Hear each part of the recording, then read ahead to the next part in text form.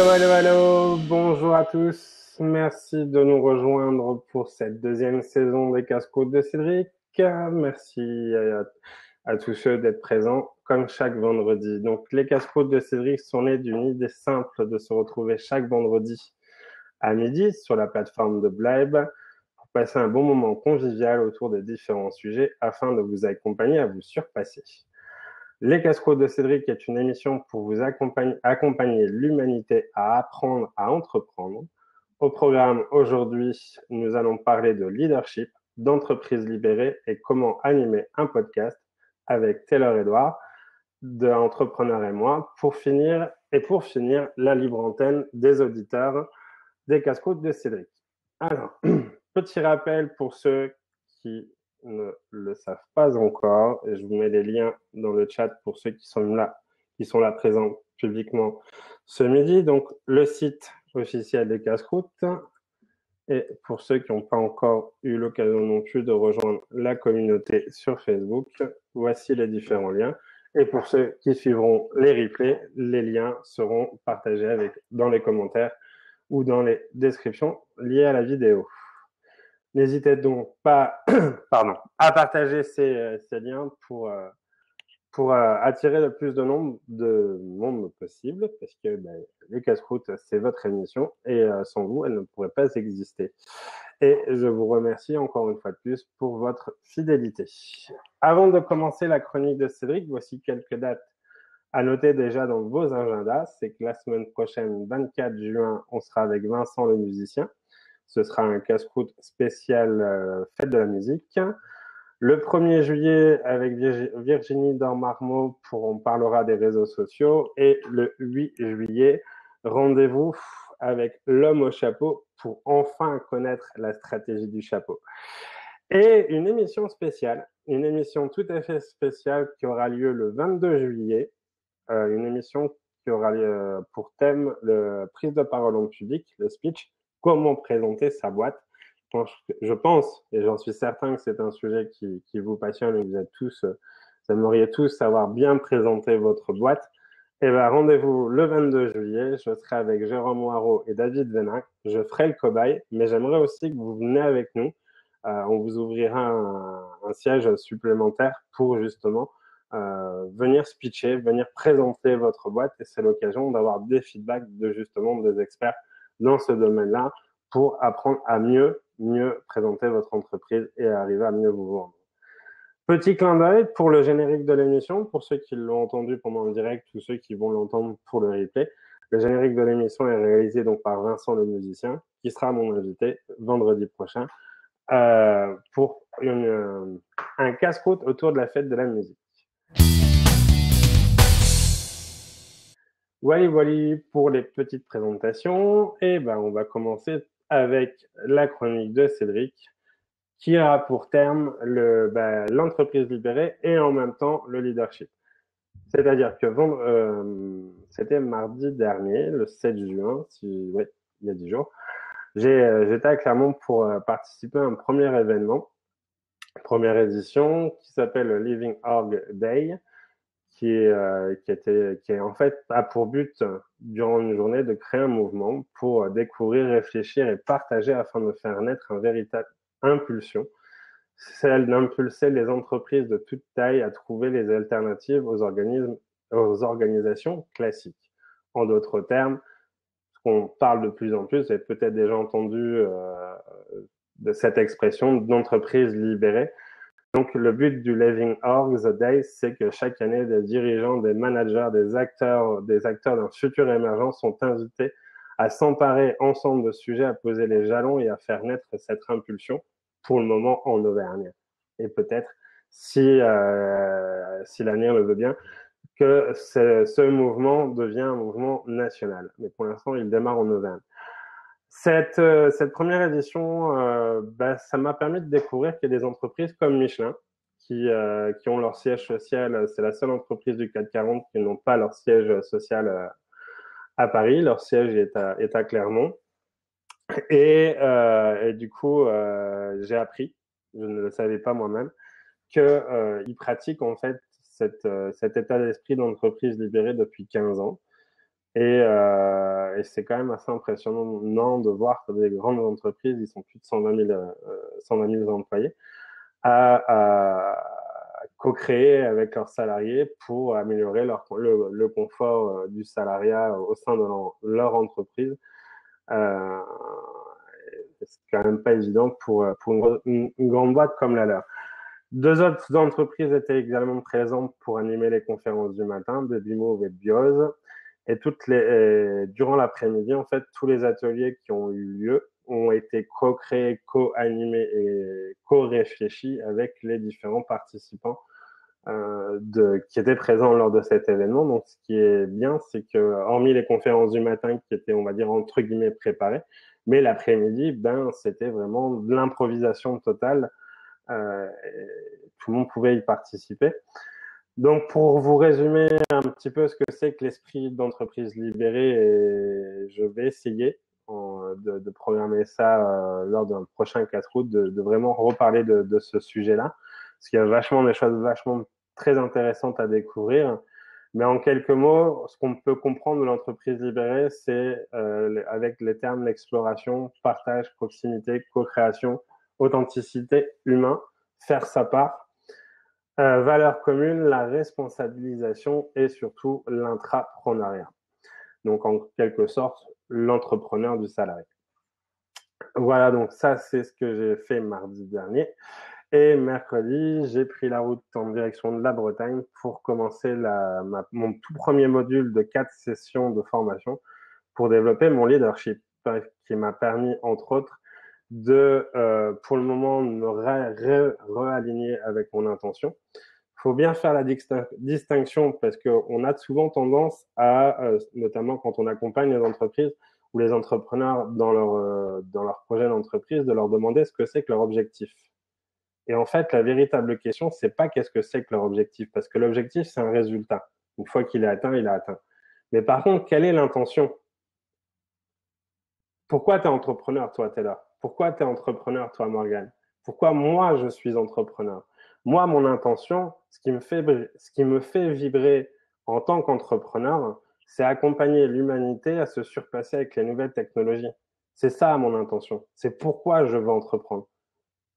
Je sais pas si vous arrivez à bien faire la distinction, mais voilà, le plus important, c'est de, de se retrouver euh, aligné avec son intention. Et bon, bien sûr, c'est une part du, du leadership. Hein, le leadership va, va au-delà de, ça, mais c'est surtout arriver à se surpasser et euh, d'être aligné avec ce qu'on souhaite clairement euh, faire dans, dans, dans, notre quotidien et dans la vie. Donc, c'est ça le plus important. C'est qu'est-ce qui vous fait vibrer et, euh, et pourquoi vous le faites. D'ailleurs, je pense que euh, j'avais vu passer euh, que le sujet de, du de la philo euh, cette année au bac, c'était euh, pourquoi travailler moins? Ouais, faut-il travailler moins? Enfin, j'ai plus la question en tête, mais je crois que ça doit être un truc dans ce goût-là. Et, et j'y ai repensé ce matin avant de préparer l'émission et je me suis dit, mais dans le fond, pourquoi on travaille? Est-ce que franchement, travailler mieux, c'est ce qu'on souhaite? Enfin, travailler mieux, oui. Est-ce que travailler moins, c'est ce qu'on souhaite? À mon sens, non. Parce que, euh, à mon sens, le plus important, c'est de comprendre ce que c'est qu'il y a derrière le mot travail. Et pour moi, le mot travail, le mot qui me vient à l'esprit, c'est être en mouvement. C'est continuellement être en mouvement. On a tous un but, on a tous un. Salut Olivier, pas de souci pour le retard. Tu seras puni avant la fin de l'émission. Mais voilà, donc pour moi, c'est être le plus important dans, dans, dans, tout ce que vous voulez faire, c'est être en mouvement. Arrêtez de penser travail, arrêtez de penser vous ne pouvez pas y arriver. Vous restez aligné sur votre intention, vous vous mettez en mouvement il n'y a pas de raison que ça ne puisse pas fonctionner. Voilà ce que, ce que je pouvais vous partager ce matin sur la, la question de, de, de, ce que j'ai fait ces, ces, ces, derniers jours en ayant participé à cet événement au Living Orgs de, de Clermont-Ferrand et euh, le premier module euh, de leadership du Playground. Je vous, je vous mettrai les liens, euh, pareil, hein, avec l'article du replay qui sortira mardi sur le site officiel des Casse-Croûtes. Eh bien, on va, on va commencer un peu plus tôt, mais c'est pas très grave. C'est le direct. On va commencer avec Taylor. Donc, merci à toi, Taylor, euh, d'être avec nous euh, pour ce midi. Si tu veux rebondir sur, sur la chronique de Cédric, ben, je t'en prie. Mais sinon, bah, merci à toi et bienvenue. Je te donne la parole. Merci à toi de m'avoir proposé de venir, participer, à, tes lives. Alors du coup, j'ai juste un petit écho chez toi, Cédric, je pense. Euh... baisser ton son? Attends.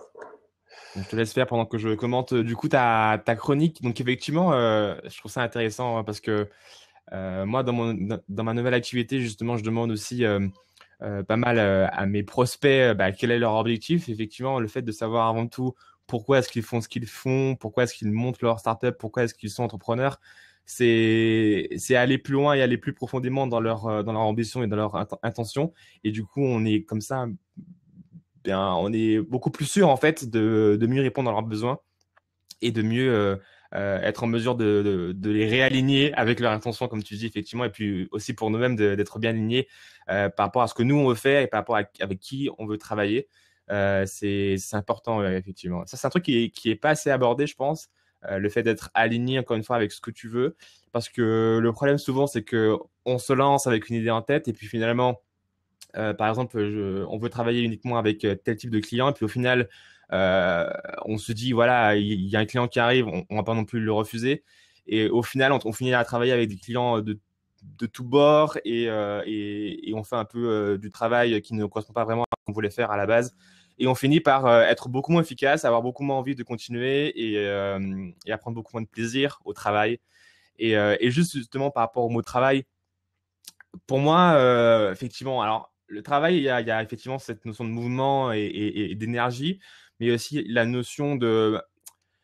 Euh, pour moi, travail, c'est un peu péjoratif en fait. C'est-à-dire que je ne considère pas vraiment ce que je fais comme un travail, à part effectivement ce qui est euh, un peu lourd, euh, notamment tout ce qui est administratif. Mais, mais pour moi, c'est avant tout du plaisir et le fait de faire des choses, même parfois qui sont un peu dures et un peu lourdes, ben, on sait pourquoi on les fait et justement, on se rappelle qu'on a une intention, une ambition.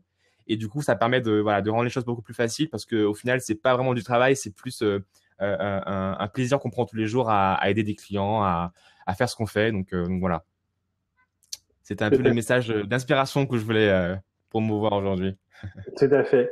Euh, ce qui me permet de rebondir en même temps sur, sur, sur ce que je souhaite moi faire aussi, parce que automatiquement, bah, le fait d'avoir amorcé cette, euh, cette formation, d'avoir pris du recul aussi au mois de mai par rapport à, à mon programme de rééducation alimentaire et globalement d'être redevenu un peu plus centré par rapport à, à mon intention. Il est clair que euh, d'ici les prochaines semaines, il y a encore des choses qui vont évoluer de mon côté. À, à titre d'info, le casse-croûte deviendra à part entière bien, le, enfin, ce sera un média en tant que tel. C'est la vocation à laquelle je veux lui donner. Euh, donc, il est possible qu'il y a des choses qui vont euh, s'ajouter, encore se modifier. Donc, pour ça, n'hésitez pas. En fait, la, la, la, véritable intention du casse-croûte en lui-même, si je m'arrête au casse-croûte, c'est de faire en sorte que ça en devienne un média, mais même un média collaboratif. C'est-à-dire que euh, pour le moment, euh, les choses sont encore assez vachement ouvertes dans le sens où je suis preneur de toute idée, mais euh, j'ai pas envie de comment dire ça Je respecte le, travail de chacun, mais ce que je veux, c'est que le, le, le casse-croûte en lui-même devienne un, un vecteur, un support, un endroit, un, lieu où on peut, euh, on peut justement, comme tu l'as dit tout à l'heure, bah, euh, des sujets comme l'intention, des sujets comme le leadership ne sont pas forcément des grands sujets bien, bien abordés, bah, autant en discuter. Euh, même si c'est pas nos domaines d'expertise, même si c'est pas ce qui, ce qui nous fait vivre tous les jours, mais au moins voilà d'avoir des sujets sur lesquels bah, tout entrepreneur, parce que euh, tout être humain peut être entrepreneur, et, euh, et bah, si grâce à, au casse-route, je peux aider, et on peut aider les, les gens à s'impulser, à vraiment être clairement en phase avec eux-mêmes et qu'ils entreprennent avec passion, comme nous on le fait quotidiennement, eh ben euh, c'est avec grand plaisir que, que les casse-croûtes euh, vivent aujourd'hui pour ça et grâce à ça et avec vous. Donc euh, prenez part si vous voulez, si vous avez des idées, si vous avez des sujets, des choses à laquelle vous avez envie de partager avec nous, ben, il y a le, la communauté des casse-croûtes. Vous postez, vous postez vos messages et c'est avec grand plaisir de, de, de co-créer avec vous un, un, média, un vrai média qui, euh, qui répond qui, qui, répond et qui surtout accompagne l'humanité à, à, pouvoir se surpasser parce que je suis plus que plus que convaincu qu'on est capable de d'arriver à faire mieux que ce qu'on ce qu'on fait aujourd'hui de manière à impulser le monde à oui, enfin, à quel, média je pense, oui, ben. Alors là-dessus, tu vois, enfin, question de télé, il y a, y, y a, une vidéo d'Emmanuel Diaz qui est, qui est passée il n'y a pas si longtemps de ça, où euh, je l'ai entendu dire et je trouve qu'il a vachement raison. Euh, TF1, euh, BFM, c'est fini. Aujourd'hui, les nouveaux médias, c'est Facebook, c'est Snapchat, c'est euh, Google, c'est Hangout, c'est les podcasts, euh, qu'on va discuter là ce midi avec euh, avec Taylor, c'est nous quoi. Donc euh, donc voilà, les casse-croûtes, eh ben ils ont tout à fait leur place parce que ça va en devenir un média, un média digital. Il n'y a aucune version papier qui est prévue pour le moment. Enfin, c'est pas l'idée. Mais voilà, si nous, on peut impulser les entrepreneurs à entreprendre, à faire en sorte que le monde y bouge, eh ben c'est c'est toute l'intention, c'est tout ça me ferait vachement plaisir de pouvoir impulser euh, et d'aller dans ce sens avec, avec tous ceux qui ont envie de prendre part à cette aventure. Assez parlé. À tout à l'heure. Merci Cédric. Alors ouais, donc effectivement, on a voulu avec Cédric euh, donc faire un blab euh, sur sur le podcasting parce que c'est quelque chose voilà qui est en train euh, d'arriver pas mal en France, qui, qui a beaucoup explosé aux États-Unis. D'ailleurs, euh, euh, hier ou avant-hier, je partageais un article écrit sur le, le, site Slate qui parle, enfin, qui, qui, d'ailleurs fait un peu écho à ce que j'avais déjà écrit dans des articles, notamment un article sur Medium où je comparais le podcast au blog. Et le fait que, par exemple, le blog avait connu aussi une explosion bah, en France. Il y a maintenant, je sais pas, à peu près 10 ans, quelque chose comme ça, et, que du coup, le podcast est en train aussi euh, lentement d'exploser en France à son rythme, pas aussi vite qu'aux États-Unis. Alors, c'est vrai qu'aux États-Unis, maintenant, c'est très développé. Il y a des podcasts sur tous les sujets, euh, que vous soyez fan de marketing, de cuisine, de sport, que vous soyez fan de, de, comics. Enfin, vraiment, il y a toute un, une panoplie de podcasts qui existent. C'est-à-dire que euh, ce qui s'est passé, c'est qu'en fait, euh, c'est devenu tellement facile de créer un podcast parce qu'avant, effectivement, euh, il y avait des problématiques de, budget, il fallait du matériel important. Et aujourd'hui, juste avec un micro comme ça, on parlera après, après de ça, mais un micro comme ça, qui coûte pas très cher, on a déjà, vous voyez, donc une bonne qualité de son. On peut maintenant, grâce à, aussi à iTunes, grâce au fait qu'on ait des smartphones, facilement atteindre beaucoup de personnes. Et puis le podcast, c'est aussi un format qui est unique en son genre, c'est-à-dire que, euh, enfin, euh, comparativement au blog ou aux vidéos, on n'a pas besoin d'être forcément euh, actif et concentré pour l'écouter. On peut tout à fait faire autre chose, donc du sport. On peut tout à fait ben, pendant qu'on prend les transports en commun, qu'on qu fait la vaisselle, le ménage, enfin voilà. Donc en fait, c'est une opportunité qui est incroyable. Aux États-Unis, ils l'ont compris très vite et ça s'est vite développé. Et donc on a on a on a assisté à un mouvement incroyable d'explosion et beaucoup de gens se sont mis à écouter. Et en fait, les chiffres euh, sont en constante évolution aux États-Unis. De plus en plus de gens écoutent des podcasts et de plus en plus de gens euh, en écoutent régulièrement, euh, ce qui fait qu'il y a vraiment un marché dessus.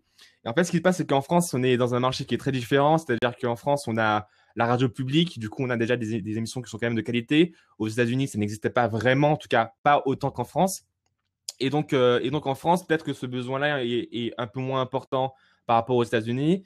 Et du coup, euh, en France, ça, met un peu de temps à démarrer. Alors effectivement, on est toujours un peu en retard euh, par rapport aux États-Unis, mais, mais en tout cas, c'est en train d'arriver. Ça a commencé très tôt avec le monde tech, le monde un peu gaming, où beaucoup de podcasts sont émergés sur ce marché-là.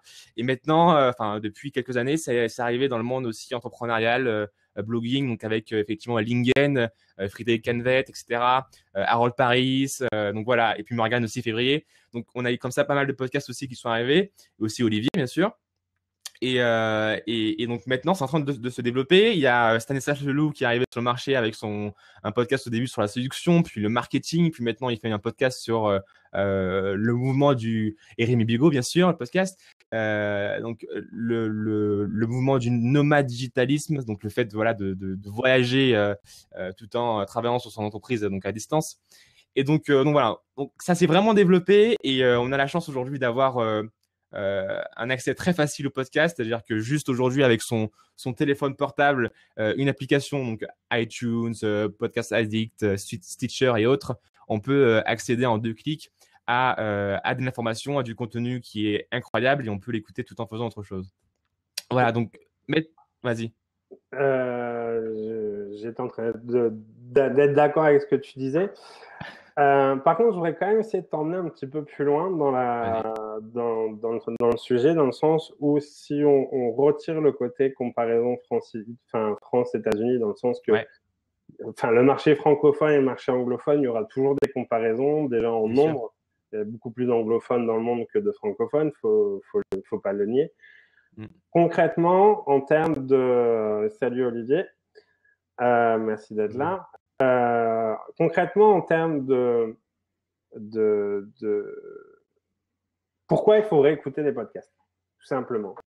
Si, si, tu, si on devrait, enfin, à la limite, comparer pour comparer par rapport aux, chaînes de télévision, peut-être par rapport à des vidéos sur YouTube euh, ou par rapport à, ceux qui préfèrent le format de lecture, qu'est-ce que le podcast euh, C'est quoi sa valeur ajoutée en fait d'écouter un podcast euh, à côté de ces autres formats selon toi? Ouais, donc effectivement, il y a, deux points de vue. Il y a, le point de vue producteur où nous, justement, on est des, producteurs de contenu. Donc euh, là, de ce point de vue, effectivement, parce que le podcast, c'est un, média qui est unique et, on peut toucher plus de monde. Et, euh, et, on a vraiment un angle qui est différent par rapport à la vidéo ou, euh, au contenu écrit. Et donc, d'un point de vue consommateur de podcast, c'est très avantageux pour plusieurs raisons. Et ça, j'en ai déjà parlé effectivement plusieurs fois. En fait, euh, alors d'abord, c'est parce qu'aujourd'hui, c'est facile. Euh, c'est très facile, mais c'est aussi facile pour euh, euh, les vidéos, tu me diras, pour les blogs, etc. Mais en tout cas, aujourd'hui, il faut juste une, une application, une connexion Internet, et puis on est parti, et des écouteurs, et on est parti. Et euh, l'avantage qui est vraiment important que je trouve, c'est ce que je disais au début, c'est le fait que par rapport à un blog, par rapport à une vidéo ou d'autres médias comme de ce genre, c'est que on n'a pas besoin d'être concentré. En fait, on n'a pas vraiment euh, besoin d'être euh, à 100% dessus. On peut tout à fait faire autre chose pendant ce temps et écouter. C'est-à-dire qu'en fait, pendant sa, journée, on va pouvoir créer du temps comme ça en fait, créer du temps d'apprentissage, créer du temps de formation. C'est-à-dire qu'on n'a pas besoin de consacrer une durée euh, je sais pas, une ou deux heures par jour et du coup être vraiment à fond. Mais on peut tout à fait euh, insérer ce temps de formation, ce temps d'apprentissage euh, pendant euh, les temps un peu morts, les temps perdus, entre guillemets, où bah, on prend sa voiture, où on prend les transports, où on fait le ménage, des tâches comme ça, où justement on n'a pas besoin d'être à 100% investi intellectuellement, on n'a pas forcément besoin d'être, enfin, de réfléchir et d'être concentré, mais du coup, avec ça, on a la possibilité en fait de, de créer du temps et c'est une astuce énorme de productivité, je trouve. C'est que le podcast aujourd'hui, enfin aujourd'hui, euh, le podcast en tant que tel nous permet euh, d'apprendre tout en faisant autre chose et ça, c'est un avantage qui est énorme par rapport aux autres médias. Donc ça, c'est vraiment un truc que je mets en avant souvent et pour moi, c'est incroyable et je regrette qu'il n'y ait pas assez de monde qui en écoute. Tout à fait. Donc, en, en d'autres termes, pendant votre temps libre, au lieu de rester cloué devant la télévision ou à, ou à râler pendant les, les, transports, dans les transports en commun ou, ou euh, derrière votre volant de voiture, eh ben, euh, c'est l'occasion justement de, d'écouter ces, ces, différents euh, podcasts hein, qui, qui, existent sur le, sur le marché aussi francophone, qui apportent du contenu, qui, qui peuvent être là pour simplement vous apporter des nouvelles connaissances, pourquoi pas découvrir de nouvelles idées et par la même occasion bah, de découvrir d'autres personnes dans une, dans une communauté, comme là, si on pourrait prendre l'exemple de la communauté des entrepreneurs. Euh, ça nous permet de, de, de, se connaître entre nous, d'échanger sur des sujets euh, euh, sur lesquels on pourrait tous, tous se concerner. Et entre autres, je sais que la plupart d'entre vous, vous vous posez cette question, c'est comment, toi peut-être Taylor, tu as peut-être ou pas fait face à cette problématique, mais Comment tu arrives à gérer le stress, le stress de la prise de parole, le stress de la vidéo comme, aujourd'hui avec le BAB, ou ne serait-ce que, ben, voilà, comment tu t'organises toi un petit peu au niveau de tes sujets, au niveau de, de, de tes prises de, de, parole pendant tes podcasts? Ouais, alors effectivement, avant de parler de moi, euh, je pense qu'il faut juste euh, donner une idée de ce qui existe en termes de podcast. Donc effectivement, il y a trois principaux types de podcasts euh, que je vois aujourd'hui, en tout cas. C'est le podcast sous format d'interview, comme toi tu fais un peu avec ce Black Blast, c'est-à-dire on accueille bah, du coup un invité à chaque épisode et on, lui pose des questions et on le laisse s'exprimer sur un sujet en particulier. Soit le podcast effectivement ben, en mode solo. Euh, bah, comme par exemple Lingen le fait ou, euh, d'autres euh, entrepreneurs le font, ou Morgan par exemple aussi parfois, où justement ben, on prend le micro et on parle d'un sujet pendant, pendant un certain temps. Et donc là, c'est effectivement un peu plus sujet au stress parce que là, il faut savoir assurer pendant, pendant je sais pas, 20 minutes, 30 minutes. on est seul derrière un micro, donc c'est un peu gênant parfois. Alors du coup, on peut aussi se rassurer en, en le faisant en live, par, par un blab, par, par un Facebook Live ou autre, mais c'est vrai que c'est particulier comme podcast et moi, j'en ai jamais fait. En tout cas, aujourd'hui, aujourd'hui, Entrepreneur et moi, c'est un podcast sous format, euh, forme d'interview. Mais on peut aussi faire donc euh, ce, ce, format-là, donc en, solo. Euh, et, effectivement, après, comme dit Morgan, effectivement, on prend l'habitude aussi. Puis au bout d'un moment, on est habitué. Et puis, et puis après, effectivement, c'est de plus en plus facile, Morgan. Et puis après, il y a un autre type de, de, de, podcast, pardon, c'est le, podcast avec plusieurs animateurs. Euh, il y en a un récemment qui a, qui a pas mal euh, fonctionné, c'est podcast donc, de Stanislas Leloup euh, qui s'appelle Nomad Digital. comme je disais au début, effectivement, c'est un podcast où ils sont deux, Stanislas et Paul.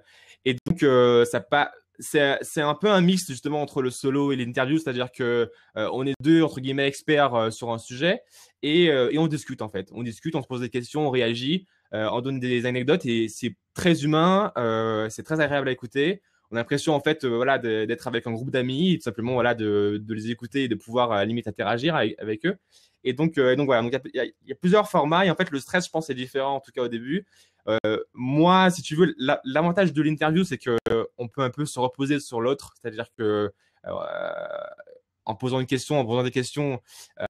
évidemment, après, il faut avoir l'art de poser des questions qui soient intéressantes pour les auditeurs et puis aussi pour, pour l'invité. Mais en tout cas, c'est un peu plus facile, je pense, que par rapport à un podcast où on est solo, où on est seul à, parler. Il faut éviter les blancs, il faut éviter d'être euh, euh, un peu euh, rébarbatif. Et donc, c'est un peu plus facile, je pense, si on commence un podcast, de commencer par un podcast sous format d'interview où en plus on, a, on va acquérir une légitimité après dans le secteur. Enfin voilà. Mais, effectivement, moi, comment j'ai fait? Ben, Tout simplement, j'ai préparé en fait une trame commune à mes épisodes. Euh, pour justement moi me, me, centrer par rapport à ce que je voulais faire du podcast. C'était un podcast, euh, c'est un podcast en fait où je veux vraiment euh, expliquer aux gens bah, comment les entrepreneurs qui ont réussi, comment ils ont fait pour se lancer, comment ils ont fait pour surmonter les moments difficiles et comment ils ont fait pour en arriver là où ils sont aujourd'hui. Et peut aussi donner des conseils concrets sur bah, des livres qu'ils ont inspirés, sur des, des, des conseils qui, qui les ont marqués, etc., etc. Et donc, euh, voilà, moi, ce qui m'a aidé, c'est vraiment avoir une trame commune, euh, préparer à l'avance mes interviews, avoir une, introduction euh, spécifique pour l'épisode et spécifique pour l'invité. Et puis après, je me laisse aussi une partie d'improvisation, bien sûr, parce que c'est là aussi où je me sens un peu plus libre et, où j'aime bien aussi avoir ce côté personnel, je dirais, dans, mes épisodes. Et donc, et donc, ouais, donc le fait d'avoir une trame commune, ça m'a, pas mal aidé, je pense, à, gérer le stress, aussi le fait de ne pas forcément être débordé, parce que c'est là aussi où on peut être stressé, c'est que on part un peu hors sujet et du coup on ne sait pas trop comment recadrer l'invité qu'on a en face de soi. Donc, euh, donc voilà, il faut gérer tout ça, mais, euh, mais voilà. Tout à fait. Et je rajouterai le débit de la parole. ouais, effectivement. parce que... de prendre le temps de. Et c'est pas évident. Je, je, le conçois et je le vois avec, euh, avec, enfin, avec les, casse-routes, c'est que j'essaie de me préparer du contenu, mais je vois que pour le moment, j'ai pas encore la, fin, véritablement la bonne méthode dans le sens où euh, c'est pas, euh, j'ai pas encore créé de fil conducteur. J'ai eu l'habitude de travailler avec ça, avec des, ça porte même un autre nom, mais je l'ai plus en tête. Mais enfin, parce que pour le moment, j'ai envie aussi que l'émission elle vide elle-même à son rythme. Euh, j'ai pas envie que ce soit euh, cadré à 200%, donc j'essaye de, trouver le, bon rythme à ce niveau. Et ce que dit, euh, Olivier dans les chats, il hein, ne faut pas penser à avoir 5000 euh, visiteurs lors des 10 premiers podcasts. Non, euh, le casco des Cédric a juste commencé avec 1000, donc 4000 de moins. Au contraire, commencer petit, petit et se tromper, recommencer, progresser, ben, c'est ce que j'essaye de faire effectivement. Et c'est là tout l'enjeu et tout l'important aussi de vouloir mettre en place, de vouloir créer euh, euh une communauté à côté des casse parce que ben, c'est indissociable. Et au plus que j'aurai de feedback de votre part, au plus que l'émission pourra progresser et moi-même également pouvoir progresser à ce niveau. Et donc, comme tu le, comme tu le disais aussi, euh, Taylor, le fait de pratiquer au fur et à mesure, on, peut, on, progresse et on avance.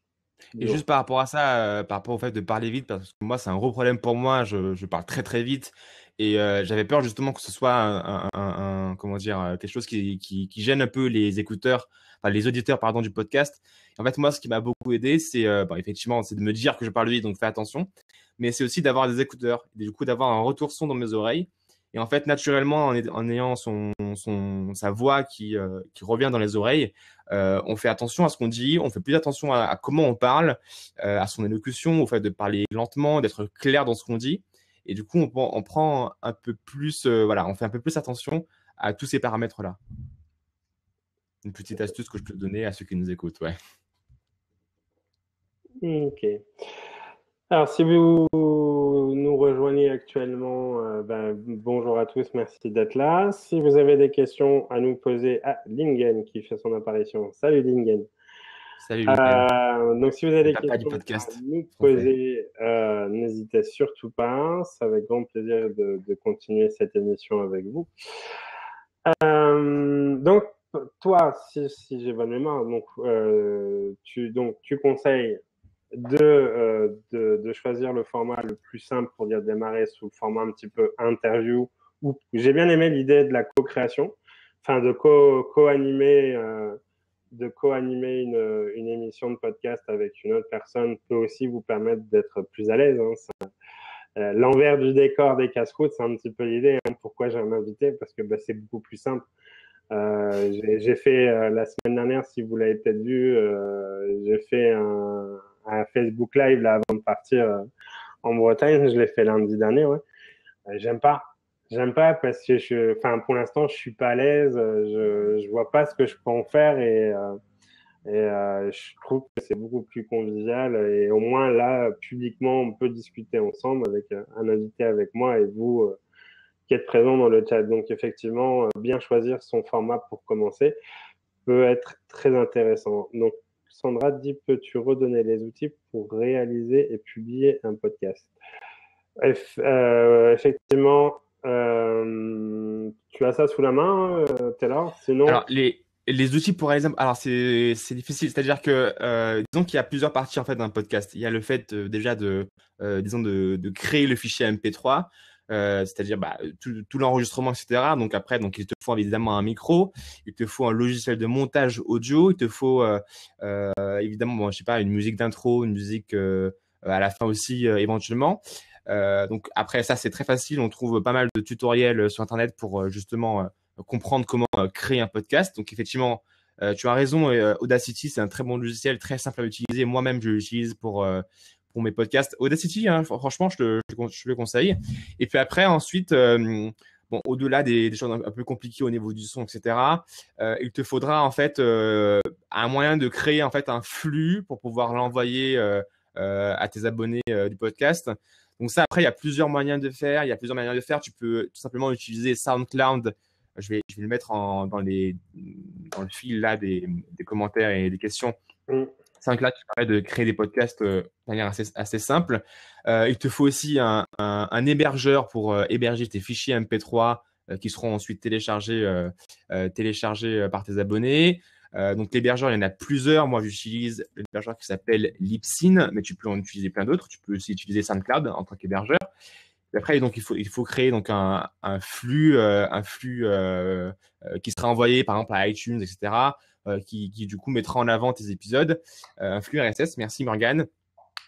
Et donc donc voilà. Mais ça, il y a plein de tutoriels qui existent. Il y a notamment bah, Lingen qui peut qui peut t'expliquer ça. il y a des tutoriels aussi en anglais qui explique très bien comment faire de A à Z un podcast.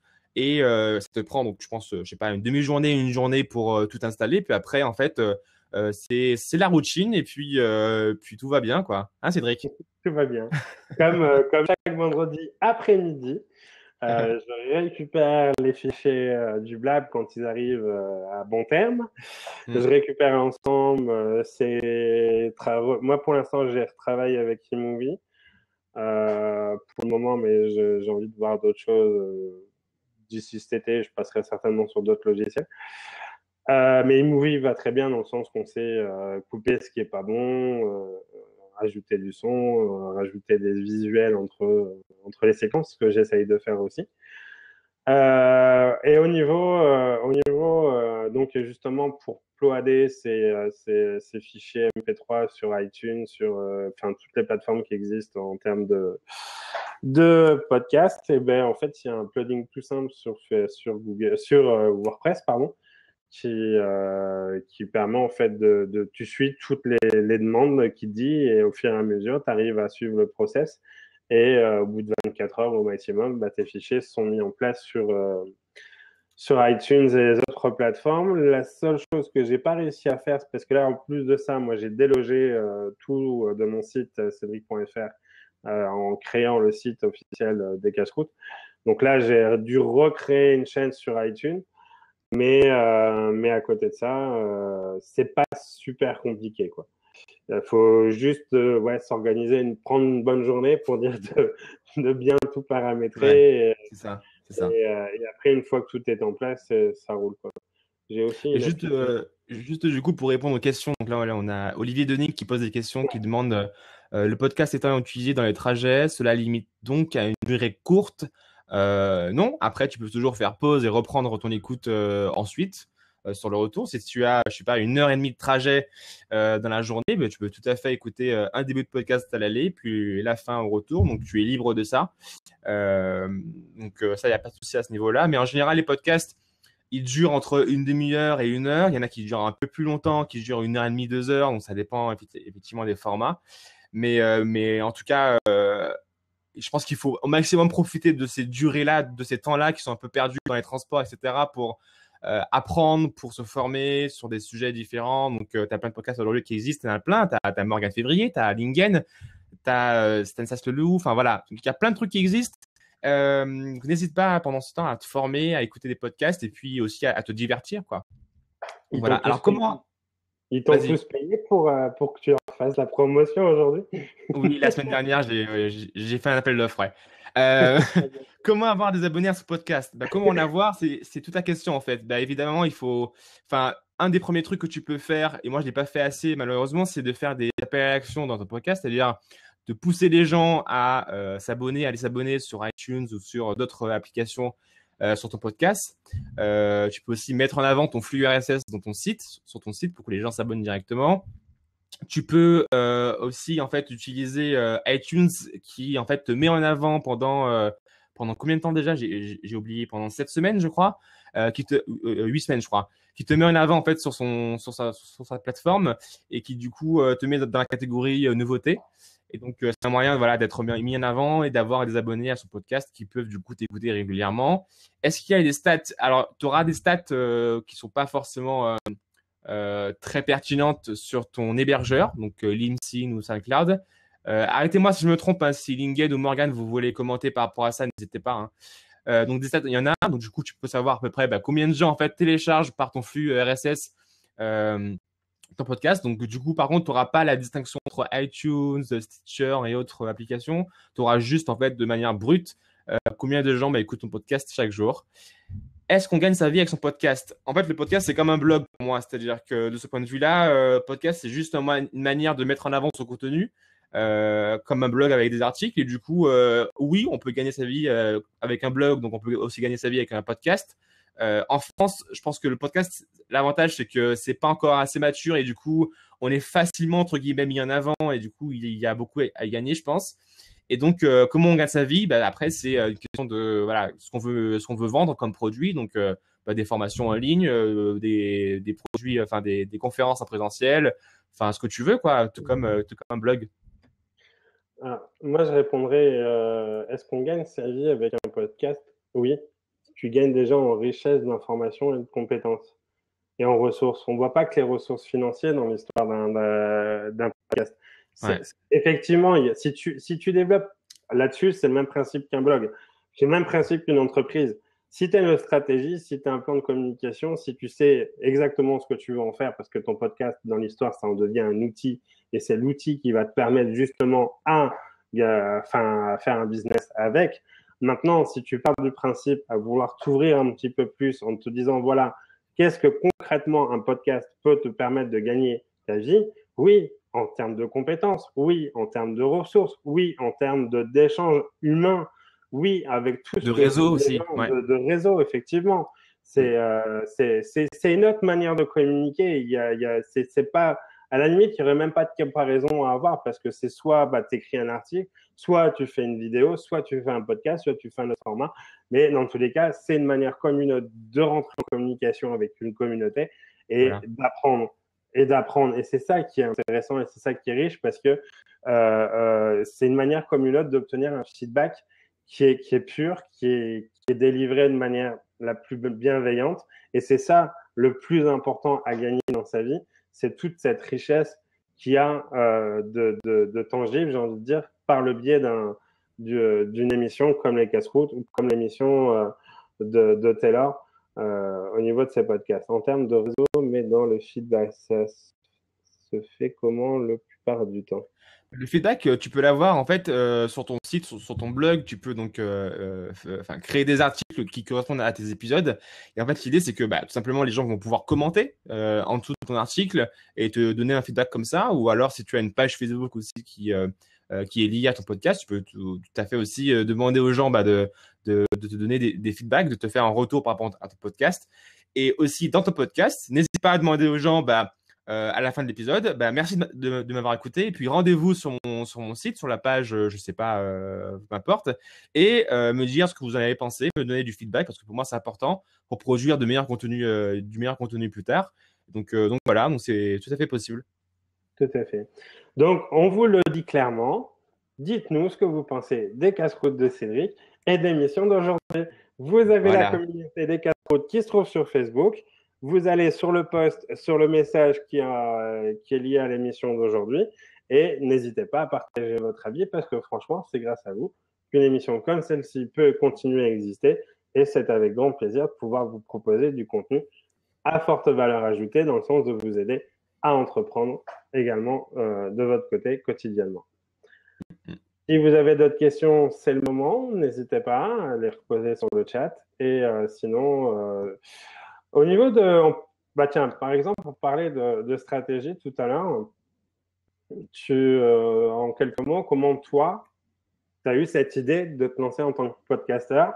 Comment, quelles sont les actions que tu as mis concrètement en place pour, euh, en arriver à ce que tu fais aujourd'hui quoi? Alors, euh, pourquoi est-ce que j'ai eu envie de créer un podcast? Ça remonte à il y a à peu près trois ans maintenant, deux ans et trois ans, ouais, trois ans. Euh, quand j'ai découvert en fait un podcast, donc qui était le podcast de, Pat Flynn, je crois. Euh, et en fait, euh, pour moi, bah, le podcast pour moi c'était juste des rediffusions d'émissions de radio, c'est-à-dire que j'écoutais euh, euh, des émissions de Laurent Ruquier par exemple régulièrement en podcast. Et, en fait, j'ai découvert à, un moment qu'il y avait aussi des, Américains qui faisaient aussi des, émissions bah, chez eux avec un micro comme ça et qui, qui parlaient bah, de, différents sujets, notamment de marketing ou internet. Et en fait, moi, ce qui m'a, ce qui a vraiment accroché, c'est que euh, les gens étaient, étaient très ouverts et en fait, on avait la possibilité de créer une vraie connexion. C'est-à-dire que, par exemple, un article de blog ou une vidéo, alors une vidéo aussi, ça, marche aussi, mais par exemple, un article de blog, on a beaucoup moins cette connexion euh, que lorsqu'on écoute un podcast où effectivement c'est la voix de quelqu'un qui te parle, qui te raconte une histoire, qui te voilà, qui, qui du coup discute avec toi quelque part. Et en fait, euh, ça a vraiment accroché chez moi. Euh, et, depuis longtemps, enfin, je suis, euh, je suis un fan de radio, je suis, euh, je suis du coup devenu un fan de podcast après. Et j'en ai découvert plein d'autres comme ça après. Et en fait, j'avais envie de, devenir entrepreneur et je voyais qu'effectivement, sur le paysage du podcast français, il n'y avait pas forcément des choses que. Enfin, je pense qu'il y avait encore des choses à faire en fait. Et du coup, je me suis dit, voilà, je vais créer mon podcast. Et j'ai été beaucoup influencé notamment par un podcast. Donc, euh, je crois qu'il a, partagé, il a partagé Lingen, le podcast de Johnny Dumas, euh, qui s'appelle EO euh, Fire, et donc où il interview chaque jour des entrepreneurs. Et en fait, j'avais envie aussi de faire ça. J'avais envie aussi de pouvoir interviewer des entrepreneurs, d'une part, pour les mettre en avant, effectivement, pour mettre en avant des fondateurs de startups, pour mettre en avant des entrepreneurs français, pour aussi moi apprendre, pour aussi moi me faire un réseau, pour aussi moi gagner en légitimité et puis aussi pour aider ceux qui ceux qui écoutaient, ceux qui avaient envie de, de devenir entrepreneurs, de du coup de leur donner des conseils, de les inspirer et aussi des, gens qui étaient entrepreneurs déjà pour éventuellement leur donner un peu plus d'idées. Et donc tout ça fait que je me suis dit allez, je vais le faire et donc à quelques jours de mes 25 ans, je me suis dit allez, je me fais vieux. je sais que ça paraît un peu. Mais je me suis dit, allez, euh, il est temps pour moi de faire un truc, un projet qui me plaît. J'avais jamais vraiment euh, créé euh, de, de, projet qui, qui, soit, qui, soit, qui soit les miens, en fait. Et du coup, je me suis dit, c'est ça, je suis l'élève de Lingen en fait. Et du coup, je me suis dit, voilà, je vais, je vais créer ça. Et donc, effectivement, j'ai contacté d'ailleurs Lingen et Harold pour, pour avoir des, petits conseils. En fait, voilà, bah, ils m'ont dit que, que c'était possible aujourd'hui de, créer un podcast et d'avoir de, de fédérer une communauté. Et donc, euh, voilà, je me suis lancé comme ça euh, grâce, à, grâce à eux. Et donc, euh, voilà comment, comment j'ai créé ce podcast. Puis après, j'ai contacté des gens. Donc, j'ai contacté Rémi, j'ai contacté Cédric, j'ai contacté plein de gens. Et du coup, et du coup, et du coup, voilà. Et du coup, j'ai créé ce podcast comme ça. D'accord. Il y a eu une efflorescence de, enfin, il, y a, il y a de la gratitude, il y a, il y a de l'ego, il y a, enfin, il y a, voilà, ça fait aussi partie euh, du off, du chat des, euh, des participants du casque de ce midi, les gens qui, voilà, chacun est le meilleur. Mais oui, on, on est tous les meilleurs, c'est pour ça qu'on entreprend euh, avant tout. Donc, donc effectivement.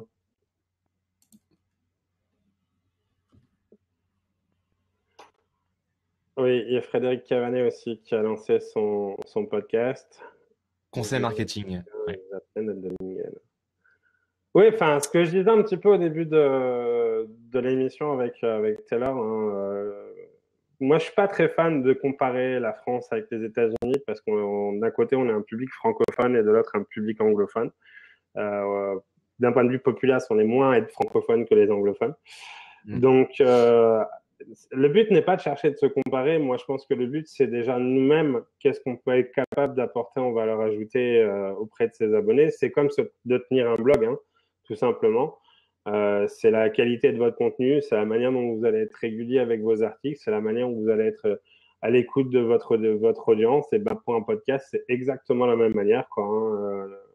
Euh, le contenu, l'audience, la régularité euh, et ce que vous pouvez apporter aux gens. Si les gens adhèrent à vos convictions, euh, ben, les gens vont suivre votre émission. Votre, et euh, c'est ce qui fait que petit à petit, les choses elles vont évoluer. Si déjà de vous-même, vous, vous, vous, êtes convaincu que vous pouvez apporter de la valeur ajoutée auprès d'un public qui soit derrière un blog ou derrière un podcast, euh, c'est déjà tout bénéf parce que si vous êtes déjà convaincu par vous-même que vous en êtes capable d'y arriver, les gens vous suivront. Tout ce qui est lié à la timidité, qui est lié à j'ose pas parce que on parce que si, parce que ça, c'est ce qu'on appelle les croyances limitantes et sortez-vous de là-dedans. Restez concentré, aligné avec ce que vous faites, avec ce que vous avez envie de faire et faites-vous surtout plaisir.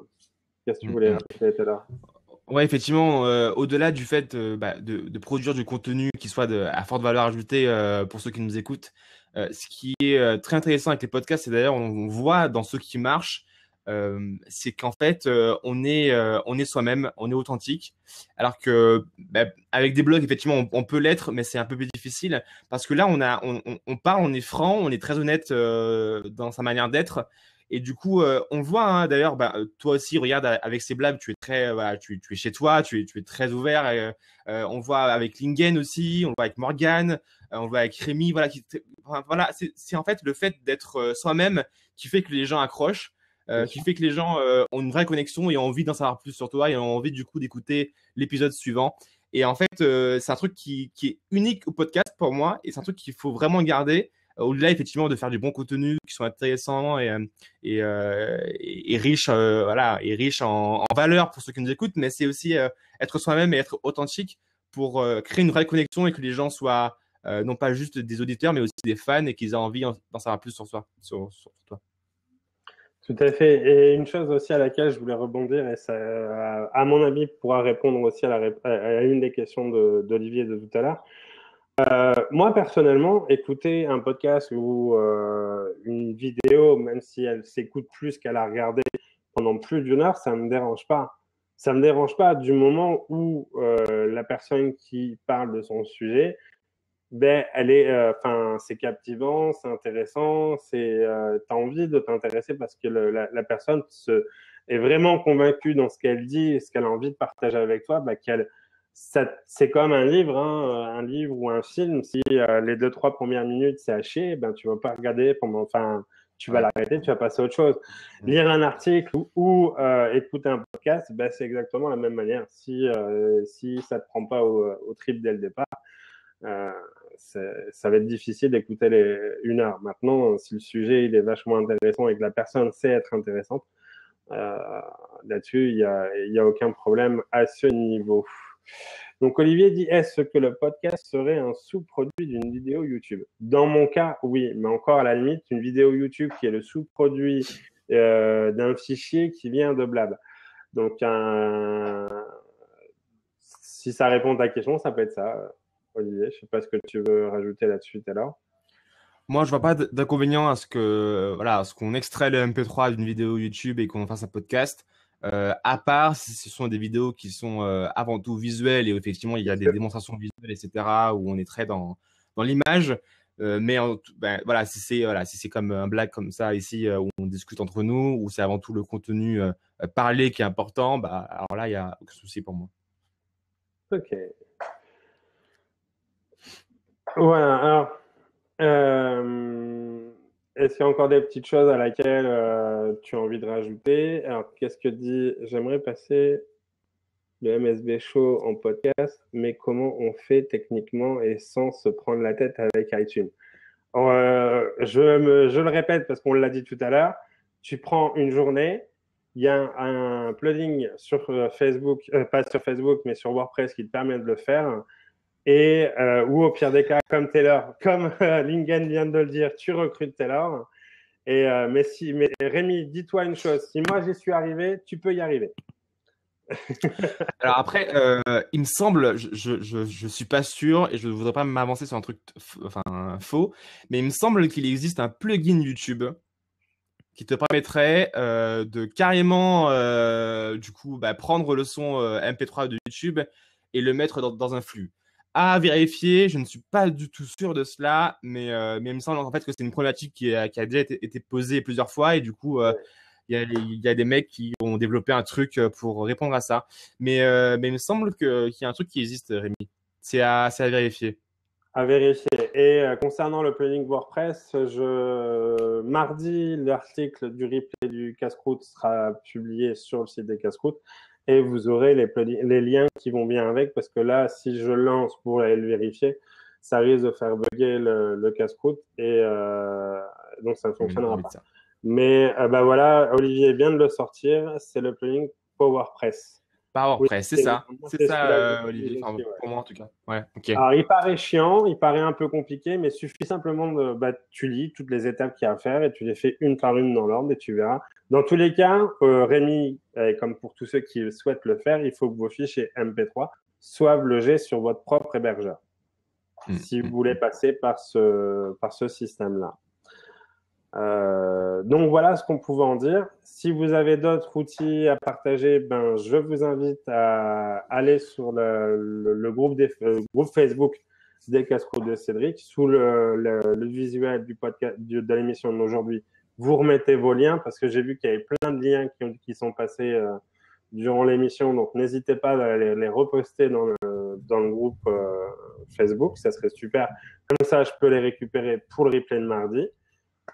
Il nous reste un quart d'heure. Si tu as encore quelque chose à nous dire au ouais. sujet des, des, pas des casse-croûtes, mais des podcasts, précisément. Ouais, et alors j'ai. Et après, après, on passe à la libre antenne, juste pour préciser que l'émission ne s'arrête pas dans 15 minutes. Bien au contraire, elle continue après avec la libre antenne. Alors en fait, j'ai plusieurs choses. Alors en, en, fait, pour parler de un peu de l'avenir du podcast, euh, moi je trouve que alors il y a plusieurs choses. Je trouve que déjà, on peut utiliser notamment euh, en levier hein, supplémentaire euh, pour toucher plus de monde euh, tout ce qui est bah, direct, notamment Blab. et Facebook Live. Donc, je l'ai dit tout à l'heure, c'est une possibilité qui, est intéressante, je pense. Moi, je l'ai fait récemment quand j'ai interviewé Stanislas Leloup. Morgan aussi l'a fait plusieurs fois récemment. donc, c'est intéressant. D'ailleurs, je crois que aussi Lingen l'a fait récemment aussi. Et tu le fais, du coup, Cédric, en direct. Donc ça, c'est une, possibilité qui est intéressante. Je pense qu'il faut, il faut l'envisager si vous lancez un podcast, si vous êtes déjà podcasteur aujourd'hui. Euh, ensuite, euh, il y a un truc, moi, je trouve que, qui, manque aujourd'hui beaucoup, c'est qu'il n'y a pas de réel euh, YouTube pour le podcast audio. je trouve que ça manque énormément. Alors, évidemment, il y a des choses qui existent. Il y a SoundCloud, mais qui est un peu trop orienté musique, je trouve. Mais, en tout cas, je trouve que ça, que ça manque. Il y a une application qui est en train de, marcher aux États-Unis sur iOS pour l'instant qui s'appelle Anchor. Euh, et, qui, euh, qui a l'air super intéressante. Euh, le format a l'air d'être plutôt des podcasts assez courts, mais ça pourrait être intéressant de, de, ramener ça en France et de voir comment, comment nous, on pourrait s'y adapter. Euh, cadre va grandir apparemment, Lingen, comme tu dis. moi aussi, j'y crois. j'y crois. J'espère que, ça va se développer encore plus et que du coup, on aura une vraie, possibilité d'avoir un, réseau social dédié au podcast et dédié à l'audio en tant que tel, euh, parce que je trouve que c'est un truc qui manque et euh, pour l'utilisation qu'on en fait, euh, pour pour l'intérêt que ça peut avoir pour pour tout le monde, je trouve que ce serait dommage de ne pas en profiter. Donc, donc voilà. Et puis dans l'avenir, j'espère qu'il y aura plus de podcasts français qui se lanceront, plus de gens qui prendront conscience que c'est un, une véritable opportunité et qu'on peut toucher plus de monde. Et alors autant je parle aux producteurs de contenu, mais aussi aux gens qui consomment du contenu. J'espère qu'on sera de plus en plus nombreux à écouter des podcasts. Euh, moi, j'en écoute euh, beaucoup, j'en écoute très régulièrement. Je prends un véritable plaisir à les écouter. Euh, quand je prends les transports, quand je suis chez moi et que j'ai rien à faire, quand je fais la vaisselle, le ménage, du sport, enfin vraiment, les opportunités sont nombreuses et on peut aujourd'hui apprendre et se former pendant qu'on fait autre chose. Donc c'est une véritable opportunité et un truc sur lequel il faut absolument foncer, foncer, foncer. Oui, je fais le ménage, Rémi. Si, si. Ça m'arrive. Mais euh, derrière tout ça, on pourrait donner, on pourrait impulser cette idée-là. Si, euh, si vous avez un projet ou vous n'avez pas de projet, mais que vous avez envie de, lancer votre propre startup, ben c'est peut-être l'occasion de réfléchir, de monter l'idée, de monter le projet d'une vraie plateforme francophone cette fois-ci, euh, du, du podcast pour avoir une, euh, un YouTube du podcast. Ce serait une, une excellente idée de, euh, de, de, de, lancer une plateforme qui, euh, qui mettrait justement en avant parce que bah, c'est c'est comme tout, il y a le contenu, il existe, mais si on ne le trouve pas facilement, ben, on va jamais tomber dessus. Donc, euh, donc c'est une opportunité parmi tant d'autres à y réfléchir, mais je pense que ça pourrait être vachement intéressant de, de, euh, de se lancer dans ce projet. Voilà, j'ai lancé l'idée. Si vous voulez en parler, bah, n'hésitez pas. Prenez mm, mm, rendez-vous. Mais faites-vous plaisir. Bon, bah, merci à toi, Taylor, pour, euh, pour cette, euh, ce petit moment de, de, discussion autour du podcast. Ça a permis de, de, de voir une autre facette de, de ce qu'on peut faire avec du contenu. Il n'y a pas que le blog, il n'y a pas que l'écrit, même si je suis euh, anti de tous ceux qui disent que le blog il est mort. Non, il évolue et aujourd'hui il y a d'autres formats, il y a d'autres manières de s'exprimer et, je trouve ça génial de, pouvoir bénéficier de toute cette variété de, supports et qui nous permet justement bah, de vous proposer des émissions comme celle-ci euh, pour, pour vous permettre de passer un bon moment, d'écouter euh, des choses auxquelles vous n'avez peut-être pas forcément pensé. Et je renouvelle donc mon idée et mon, mon souhait, c'est que bah, n'hésitez pas à me solliciter et à me partager sur des sujets que vous aimeriez bien entendre également euh, lors des prochains casse-routes. Euh, comme je le disais en début d'émission, vendredi prochain, on aura rendez-vous avec Vincent, euh, le musicien qui est l'auteur du générique que vous avez certainement entendu en début d'émission. Euh, 1er avril, le 1er avril, non, le 1er juillet, on a rendez-vous avec Virginie Darmeco pour parler des réseaux sociaux. Le 8, le 8 juillet, on va vous dévoiler la stratégie de l'homme au chapeau. Si vous voulez le savoir. L'homme au chapeau, mais qui est-ce?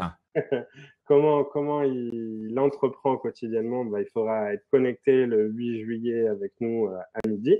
Et le 22 juillet, le 15 juillet, il y aura une émission, hein, mais le 22 est déjà programmé. Le 22 juillet, on fait une émission spéciale, prise de parole en public, pitch, comment présenter sa boîte avec deux experts qui sont Jérôme Moirot et David Véninck.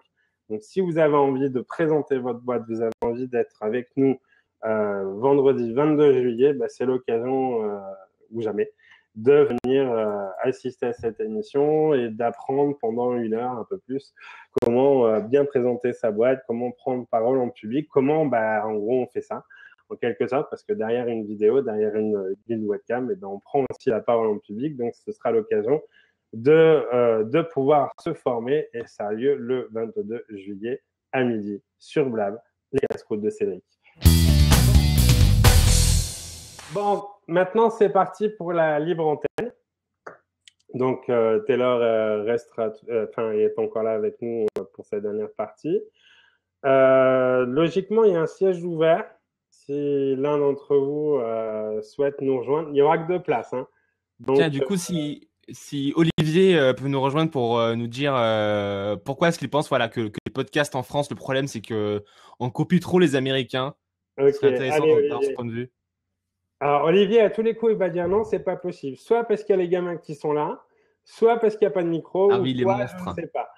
Merci Sandra en tout cas d'avoir été avec nous euh, depuis le début de l'émission et j'espère que cette émission t'aura aussi permis de parce que je sais que Sandra elle a hâte Sandra elle a hâte de prendre la parole, de aussi de se faire son petit euh, sa petite émission donc euh, j'espère que mon invitation est toujours proposé, mais avec grand plaisir de t'avoir comme invité. Parce qu'on pourrait vachement parler de choses aussi intéressantes avec Sandra, qui euh, est spécialisée dans tout ce qui est communication commerciale. Et je suppose que, même plus que je suppose, c'est que beaucoup d'entre nous, on a besoin de tes compétences. Donc, donc c'est avec grand plaisir de t'avoir en invité lors de mon prochain, un de mes prochains casse-croûte.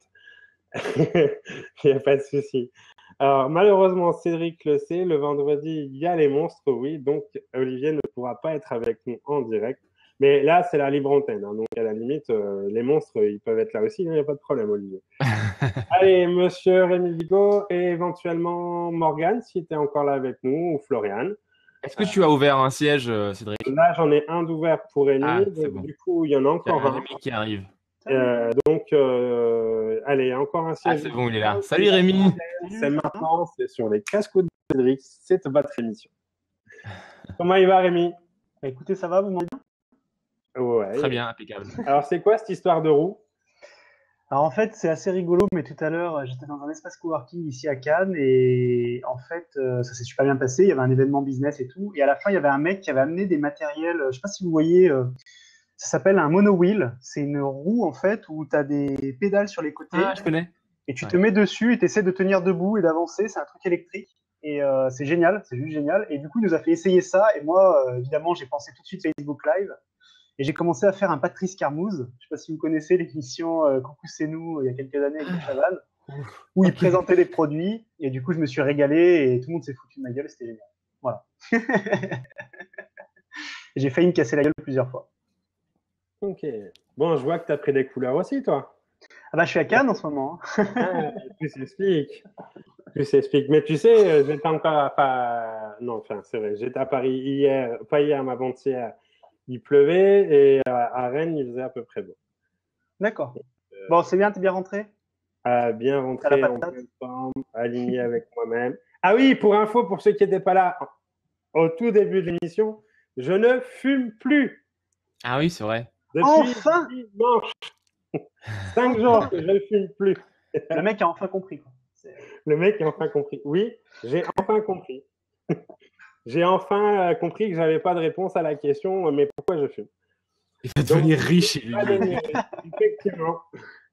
Tout à fait. Comment devenir riche demain? Bah, Arrête de fumer déjà, tu gagneras de l'argent. Lance une formation, Cédric. Ah, mais je pourrais, effectivement, c'est pas le but, mais je Seulement 1997 euros. C'est pas assez cher.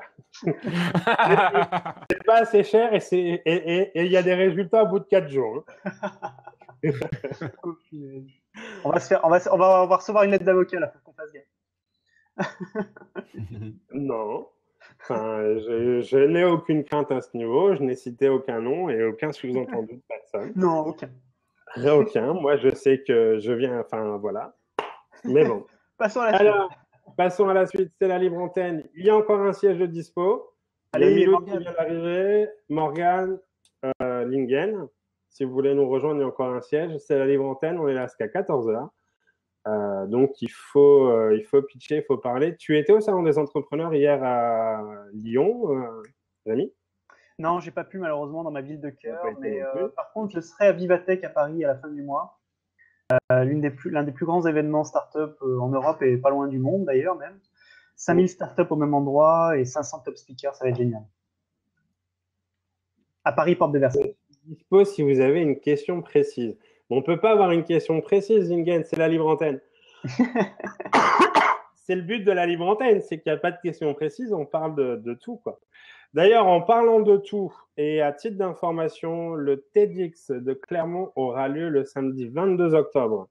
Si vous voulez y, venir y faire un tour, ben, c'est avec grand plaisir de vous recevoir. Et j'en profite également parce que ça a lieu le lundi 27 juin toujours à Epicentre à Clermont, il y a la soirée euh, Web Marketing Day de nos chers amis Néo Camille. Euh, donc, je vais voir Camille en quelque sorte qui sera, euh, il sera à Clermont le 27 juin. Donc, pareil, si vous voulez venir, c'est avec grand plaisir de vous donner les infos parce qu'en plus, c'est gratuit et dans un cadre très sympathique à Epicentre à Clermont. Alors moi, j'ai une question précise pour une vidéo. Quand est-ce que tu déménages à Paris? Mais il n'a pas besoin de déménager à Paris. Il habite déjà à Paris. Quand, il, dit qu'il habite, à Cannes, c'est juste pour le deal. C'est parce que Cannes, ça fait bien, ça fait mieux que Paris. Regarde. à Paris. Regarde. Bah, pour moi, j'ai l'impression. Non, moi, j'ai l'impression que tu es à Limoges là. Hein. Ah non, pas vraiment. je vois, vois pas la mer, quoi, en tout cas. Bon, bah, je vous amènerai à la mer bientôt. Je vois pas la mer. Si vous me connaissez, si vous me suivez sur Snapchat, vous pouvez voir mes snaps en, direct de Cannes. Hop. Fais un Ces snaps en direct de Cannes, ils sont vraiment trop abusés, quoi. Tu sais, euh, il filme Cannes comme ça, il fait beau, il est là. Oh, c'est vraiment pourri, Cannes, c'est pourri, Cannes, c'est pourri. On se fait chier à Cannes, sérieux. Bien sûr. Je te montre Paris, je dirais pareil. Mais ce sera vrai. Je fais exprès, on adore faire ça à Cannes. En fait, il y a, pour, la petite histoire, la petite anecdote, parce que les gens ne savent pas trop de quoi on parle. En fait, il y, a une, fille ici qui s'appelle Marie Pouréron, qui est canoise, qui est référenceuse et qui utilise Snapchat depuis quelques semaines. Et sa technique sur Snapchat, c'est de prendre des photos de Cannes et des, ou des vidéos et de dire oh là là mais c'est moche Cannes, c'est moche. Parce qu'elle adore faire ça parce qu'il y a des gens qui disent que c'est moche. Et du coup, elle montre que des trucs magnifiques. Et euh, du coup, je lui ai emboîté le pas parce que je trouve ça trop rigolo. je fais hmm. exprès on se marre beaucoup. On se marre beaucoup. Ouais, mais continue, c'est bien. voilà. Euh, pour répondre à la question de Lingen, bah, en fait, je vis à Paris euh, par, euh, par, intermittence, quoi, finalement. il, a, il a un bon deal avec la SNCF, donc du coup, ça lui coûte pas cher en train. Excellent. N'empêche, je ne sais pas si ça existe de Cannes à Paris, Flixbus ou la ligne en bus. Oui, je l'ai fait. moi, je viens de faire un Rennes-Paris 9 euros. Ouais, euh, j'ai fait un Limoges-Bordeaux 2,38 euros. Ouais, donc du coup, euh, du coup, c'est une alternative aussi au. Il y a plus. Il y a, il y a une chose qu'on m'a dit, ça, ça, pourrait être éventuellement le sujet de. Alors, euh, Flixbus, il, bus, il est moins cher que Webus, hein, parce que Webus, les 9 euros, c'est à 18h ou à 6h du matin, alors que Flixbus, à 9 euros, tu l'as aussi en pleine journée. Bien évidemment, il faut réserver ton billet euh, un, petit peu à l'avance. Mais euh, ça pourrait être une question à laquelle on pourrait euh, en rediscuter un peu plus longuement sur un autre casse-croûte. Mais mhm. ça fait partie des différentes choses parce que, que j'ai fait là, en étant sur Rennes. Mais alors, je vous pose la question. On peut en parler maintenant ou on en reparlera lors d'un prochain casse-croûte. On en fera une émission spécifique. Euh, est-ce qu'on est Paris-centrique? Hmm. Est-ce que la France est Paris-centrique? Moi, j'aimerais bien, j'aimerais bien qu'on, si vous avez envie de discuter là-dessus, parce que effectivement, je pense qu'on l'est, mais il serait temps et pas, même pas qui serait temps, c'est qu'il existe d'autres choses qui se font en dehors de Paris. Et euh, bah, évidemment, il faut arriver aussi à, mettre la lumière, euh, notamment sur des initiatives qui se passent ailleurs. C'est pour ça que là, ben, j'en profite, euh, moi, par le biais des casse bah, de parler de ce qui existe à, Clermont, parce qu'il se, fait il se passe plein de choses, beaucoup plus qu'à Paris.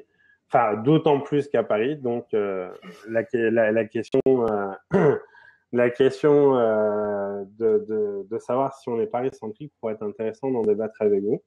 Donc, soit on en parle maintenant, ou soit ça pourrait être tout à fait un sujet euh, euh, qu'on pourra en parler d'un autre, euh, un autre moment. Très intéressant, Cédric. Mais le, problème qu'il y a, en fait, c'est que bien sûr qu'il faut parler des autres villes. C'est super ce qui se passe à Lyon, à Lille, à Clermont, à Saint-Etienne. Ouh là, j'ai fait une erreur. Pardon, pas Saint-Etienne. Euh, et d'autres. Mais, euh, mais en fait, ce qui se passe, le problème qu'il y a, je pense, par rapport à ça, c'est qu'il n'y a qu'une ville en France aujourd'hui qui peut vraiment entrer en compétition avec le reste du monde, et c'est Paris. Euh, donc en fait, moi, la question que j'ai envie de poser, c'est plutôt comment les autres villes françaises peuvent servir Paris d'une certaine manière, et donc qu'on ait un écosystème plus français pour pouvoir attaquer l'écosystème californien ou d'autres, même si je pense pas qu'il faille se comparer euh, aux autres. C'est à mon avis intéressant. Paris est la seule ville monde qu'on ait en France. En fait. Donc euh, c'est pour ça, je pense que c'est intéressant qu'elle se développe. Et ça serait bien effectivement que les autres villes en profitent. Et donc la French Tech, c'est super intéressant parce que ça développe d'autres villes et d'autres écosystèmes. Moi, juste Rémi, par rapport au fait que tu dises euh, que tu n'es pas d'accord, enfin, de comparer en fait les villes entre elles, et notamment Paris par rapport aux autres villes. Euh, je suis pas d'accord avec ça parce que justement, je me dis que le marché aujourd'hui est tellement global et du coup, aujourd'hui, quand tu crées une startup à Paris, finalement, tu la crées un peu dans le monde entier assez rapidement, entre guillemets. Euh, et du coup, je trouve que justement, c'est intéressant de savoir euh, bah, entre les différentes villes, quel écosystème est le plus euh, favorable après, selon les secteurs évidemment, selon les, euh, les boîtes que tu veux monter, si c'est une app, si c'est si une plateforme, si c'est marketplace, etc. Et du coup, je pense que c'est intéressant à ce, niveau-là de comparer entre les villes, bah, justement, les écosystèmes entre eux. Ah, mais bien sûr, oui, oui. Mm. Non, ce que je voulais dire, c'est que Paris, si elle, veut si elle veut vraiment rentrer en compétition, aujourd'hui, Paris, si tu regardes sur l'échiquier mondial, elle doit être 4 ou 5e mondial aujourd'hui euh, en termes de, dans le monde des startups. Avec le nouvel incubateur qu'on va avoir de Xavier Niel, je pense qu'on va monter peut-être à la troisième place, on va être vraiment en frontal avec Londres et Berlin, peut-être Stockholm mhm. également. Mais les autres écosystèmes, ils sont importants. Euh, Lyon, Rennes, Lille. Lille est un super écosystème. Nantes, un super écosystème. Euh, Lyon, évidemment, est un point central parce qu'ils sont bien positionnés au niveau européen. Euh, et la question, c'est est-ce qu'on essaie de rouler chacun pour soi ou est-ce qu'on est plus intelligent et on se sert les uns des autres? Je parle dans du bon sens du terme, hein, pas se servir à mal, hein, euh, pour pouvoir être plus grands tous ensemble. C'est la question en fait. C'est euh, certainement une des questions. Maintenant, merci Miloud, à très bientôt. Salut Miloud. Euh, en fait, la, question qui, peut aussi aller derrière, derrière cette, réflexion de savoir si on est Paris-centrique, est-ce que euh, les autres villes doivent desservir Paris? Je, comprends ton intention, je comprends ce que tu veux dire, Rémi, mais euh, personnellement, dans quel sens on pourrait, euh, euh, servir Paris? Mais en même temps, en allant dans cette action de servir Paris, on reste Paris-centrique.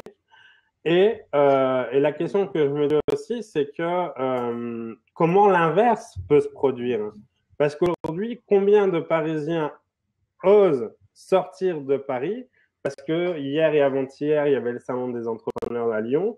Il y avait euh, la semaine dernière, euh, un, enfin, il y a eu euh, cette, cette semaine, il y a eu pas, pas cette semaine, mais encore hier, il y a eu euh, l'inauguration du bivouac à Clermont-Ferrand et je ne pense pas qu'il y ait eu des Parisiens qui ont fait le déplacement pour. Euh, tu parlais de Lille, tu parlais de Nantes. Voilà, les, enfin, je, me dis, me pose aussi cette question, est-ce que pour que ton événement en dehors de Paris puisse fonctionner, faudrait-il pas qu'il commence la première édition à Paris pour que tes Parisiens voient ce que c'est et après essayer de les faire sortir de Paris? La question, elle est là aussi à se poser, quoi. Ouais, mais c'est pas à Paris, si tu veux, c'est pas à Paris de, de débrouiller pour que les autres villes vivent. Tu vois ce que je veux dire? C'est à vous, c'est à nous. Pas à vous, quand je dis vous, c'est nous, en fait. Hein. Moi aussi, je vis en dehors de Paris. C'est à nous de nous bouger les fesses. Regarde, je te donne un exemple tout bête. Ici, dans la région PACA, hein, qui est une belle région mondialement connue, on a, des, on a de, de toutes les nationalités qui viennent ici en permanence. C'est vraiment une région fabuleuse, pour plein de raisons. Mais tu vois, ça se tire la bourre. Comme dit euh, Olivier euh, en Auvergne-Rhône-Alpes, hein, parce que je connais très bien cette région également, je suis né à Lyon, c'est que euh, tu as Nice d'un côté, tu as Cannes de l'autre, tu as Sophia Antipolis qui est un hub technologique qui est très connu mondialement également, où il y a des très grosses boîtes mondiales, et chacun se tire la bourre. Alors qu'on est à côté, on est dans un, rayon d'une trentaine de kilomètres, et au lieu de travailler ensemble, euh, Nice décide de créer sa propre euh, vallée verte, donc ce qu'on appelle la vallée éco-verte, je ne sais plus le nom exact, bref, c'est plein d'entreprises de la technologie. Alors juste à côté, il y a déjà Sophia Antipolis qui est là depuis 30 ans, et puis Cannes, de son côté, vient tirer la couverture à soi également. Ça n'a pas de sens. Cannes, Nice et Sofia séparément n'ont aucune chance d'avoir un réel impact dans le monde. Par contre, ensemble, on a un pouvoir énorme.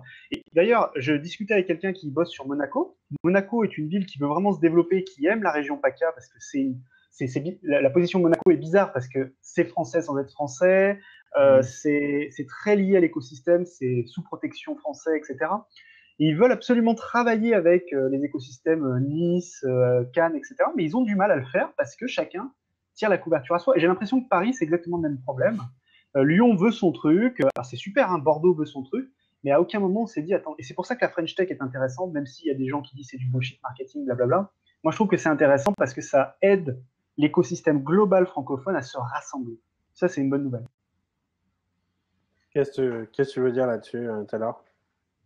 Ouais, effectivement, je suis d'accord que c'est euh, que la priorité doit être donnée euh, au fait de se rassembler et d'unir ses forces, surtout euh, surtout que voilà, aujourd'hui, on a quand même des réseaux qui sont mis en place, on a Flixbus où on peut rapidement aller d'une ville à l'autre. Non mais non mais enfin rien que ça déjà, c'est un truc euh, qui, qui, permet voilà, aux gens de se rapprocher et finalement de bah, d'unir, comme tu dis, bah, Cannes, euh, Sophie Antipolis, etc. Et que ce soit plus facile en fait d'unir ses forces plutôt que de mmh. que de tirer entre entre les différentes villes. Donc, je pense qu'on n'a que à gagner en faisant ça. Et, euh, effectivement, l'union fait la force de toute façon. Euh, ça, dans le monde des startups, euh, il faut il faut de, de, toute façon des ressources. Et, et, et, on sait que de toute façon, voilà, il faut des ressources humaines, des ressources financières, des ressources de compétences. Donc, il faut de toute façon s'unir être plus fort et pour pouvoir euh, pas forcément concurrencer d'autres écosystèmes, mais en tout cas euh, avoir une force euh, qui soit importante pour que les gens puissent venir à toi et être finalement comme un, comme un, comme un aimant pour pousser, pour pousser les gens à, à venir et à se, créer et à se développer dans ton écosystème, je pense. Donc, pour continuer dans cette, dans, cette avancée et d'essayer de vraiment de manière globale euh, impulser un vrai écosystème français à travers tous ces petits micro euh, écosystèmes qui existent à, travers tout d'un point de vue euh, enfin, sur le territoire. Qu'est-ce qui pourrait être impulsé? Est-ce qu'il faudrait développer encore plus ces réseaux de, de, de transport de manière à pouvoir impulser encore plus les gens à interagir d'un écosystème à un autre? Est-ce qu'il faudrait répartir une enveloppe euh, financière de subvention, d'argent, de, de, euh, de manière à la rééquilibrer, de manière à vraiment à ce que euh, l'ensemble des écosystèmes bougent dans le même sens et qui ont pour but quand même d'impulser le mouvement à, créer un vrai écosystème à la française. Parce qu'effectivement, pour le moment, il y a l'air d'avoir plein de choses qui se font partout en France. Euh, chacun essaye quand même malgré tout de tirer la couverture sur soi. Donc, dans le fond, on n'est peut-être pas paricentrique dans la pensée, même si on l'est dans l'action. Euh, comment, enfin voilà, les, questions qui peuvent aussi se poser, elles sont là, quoi. C'est que à, ce jour, effectivement, euh, on va porter de l'intention parce qu'à Paris, il y a Xavier Niel qui arrive avec son avec son espace de coworking. Euh, enfin avec toutes les initiatives aussi qu'il met en place. Mais à côté de ça, comme, euh, comme euh, le disait aussi Olivier dans le chat, bon, du côté de Grenoble, il se passe des choses, comme tu l'as dit, du côté de Cannes, du côté de Nice également. Moi, enfin, quelles seraient selon vous les initiatives? Parce qu'il doit quand même en avoir, de manière à vraiment impulser à ce qu'il y ait un réseau qui fonctionne à travers ces écosystèmes et qu'en gros, au final, ils en fassent qu'un au lieu que chacun se tire comme ça euh, le, le, le, la couverture sur soi. Parce qu'en attendant, en ouais. attendant, c'est de l'argent qui est perdu et du temps qui est gaspillé. Ouais, alors euh, tout ce qui est réseau, tout ce qui est financement, euh, je ne saurais pas répondre. Honnêtement, euh, je ne sais pas. Enfin, je pense que évidemment que ça, que ça aiderait de toute façon.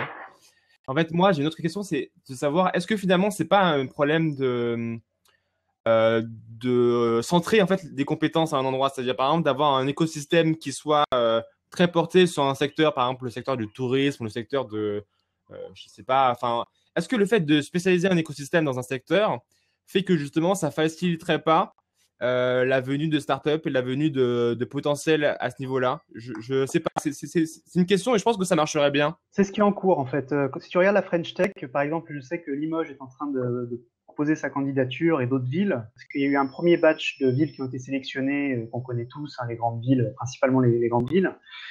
Et en fait, l'objectif, c'est justement de, faire comme des pôles de qu'on avait fait sur les entreprises classiques. Voilà, C'est-à-dire dire, voilà, Limoges va se positionner sur, par exemple, euh, l'électricité, parce qu'on le sait très peu, mais Limoges a l'un des numéros un mondiaux dans l'électricité qui s'appelle Legrand. Euh, on, a, on est également très fort dans tout ce qui est domotique, à Guéret, qui est pourtant une toute petite ville euh, fin fond de la Creuse et qui est au top dans la domotique. Donc, ils veulent se lancer sur ces deux métiers-là. Ouais, voilà. Pardon, euh, C'est à côté de chez moi. Bah oui, bah, tu connais bien. Euh, donc voilà, ces deux villes-là ont vraiment des, des gros atouts là-dessus. Donc elles vont essayer de poser leur candidature là-dessus et donc de faire venir un maximum d'entreprises de toute la France, peut-être même de l'étranger, sur le sol limousin pour développer cette compétence-là. Euh, Paris, euh, évidemment, le, Paris est beaucoup plus généraliste parce qu'ils ont la possibilité de faire à peu près tout et n'importe quoi, mais ils vont quand même se concentrer sur, sur les apps mobiles, sur la mode, le luxe, là où, Paris est vraiment au top niveau. Ouais. Mais oui, les écosystèmes essayent de faire ça. Je pense que c'est une très bonne idée. Par contre, tout à l'heure, tu as parlé de, de subventions. J'ai failli tomber de ma chaise, Cédric. Euh, je t'explique pourquoi. Dans le monde des startups, je pense que la subvention est justement ce qu'il ne faut pas et jamais.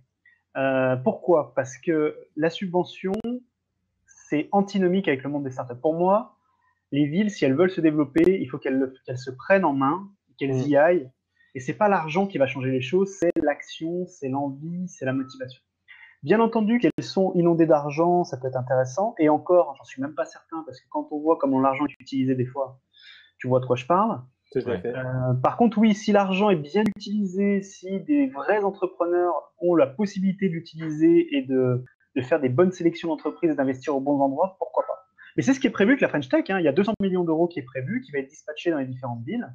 Je ne sais pas à quelle hauteur encore, c'est en cours de discussion mais c'est ce qui est tout à fait prévu. Après, ça prend du temps. Quand tu dis que je pense qu'on perd du temps, moi, je pense pas qu'on perde du temps parce que les, les villes, quand même, ils vont à fond. Après, c'est l'organisation qui, elle, prend du temps et je pense que c'est normal, en fait. Tu regardes même aux US, ils ont la même problématique. Hein. Aux US, il y a de plus en plus d'entreprises qui euh, décident de quitter San Francisco, la région de la vallée, parce que les développeurs sont trop chers, parce qu'on ne peut plus y vivre, c'est trop cher. Ils partent à New York. Ils comprennent qu'à New York, il y a des financiers, puisque c'est une des plus grandes places financières mondiales après Londres. Et donc voilà, euh, c'est exactement la même situation. Et je pense que nous, on a tout à gagner ici. Moi, je vois vraiment des belles choses. Honnêtement, euh, je ne me fais pas de soucis. Et on verra ce qui va se passer. Et oui, Grenoble, Lille, Nantes, l'Auvergne, le Limousin, tout essaye de se bouger dans, dans le bon sens. On verra. aussi. Exactement. Tout à fait. Non, mais c'est vrai. Voilà, voilà. Tout à fait. Est-ce qu'éventuellement, vous avez des questions pour les, personnes qui sont encore présentes avec nous, euh, pardon, durant, durant cette euh, dernière demi-heure de direct. C'est le moment de prendre la parole. Là, on vient de parler de Paris centrique, mais si vous avez tout à fait d'autres sujets euh, sur lesquels vous auriez envie de débattre avec nous, ben, n'hésitez surtout pas. Il y a un siège disponible. Venez nous rejoindre pour cette dernière demi-heure. Sinon, ben, on va rendre l'antenne et on se retrouvera vendredi prochain. Mais c'est l'occasion euh, justement de la libre antenne de pouvoir. Euh, je vais laisser la place du coup, Cédric. Je te remercie de m'avoir donné l'opportunité. Ouais. Bonne journée à vous. Il faut que j'aille manger un bout là, sinon je vais tomber. à plus, merci à tous et à bientôt. Ciao, ciao. Ciao, ciao. Hop. Ok, cool. Allez, on reste deux, trois petites minutes avec vous. Je vais en profiter pour vous redonner les dates pour les prochaines sessions. Si tu as une info à partager, tu es là, n'hésite pas, pas à le faire. Euh, une info, euh, pas particulièrement. Euh, Entrepreneur et moi continue, le podcast continue, donc n'hésitez pas à vous abonner au podcast sur iTunes ou d'autres plateformes, d'autres applications pour me suivre. Et, voilà. Et sinon, moi, je lance une autre activité en fait de community management pour les startups. donc, donc voilà, ça marche, ça marche plutôt bien. J'ai de très bons retours. Donc, j'avance très bien et voilà. Ok, mais il faudrait qu'on en discute en off de cette nouvelle activité, mm. voir ce, que, ce qui peut émerger de cette conversation. Ok, ok, bah, bah, sinon on se retrouve vendredi prochain, même heure, à midi, pour le prochain casse-croûte de Cédric. Je serai avec Vincent le musicien, on fera une spéciale fête de la musique. Et euh, n'oubliez surtout pas le 22 juillet, l'émission spéciale prise de parole en public avec Jérôme Moirot et David Vénin. D'ici là, portez-vous bien, passez un excellent week-end et à très bientôt. Bye bye. Merci à tous et à très bientôt. Merci beaucoup.